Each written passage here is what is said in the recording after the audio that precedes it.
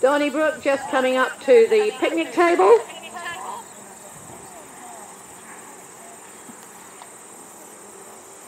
Oh shit, I've lost him. Fuck. And Oh, through the coffin. That's Donnybrook and Anne Wilson.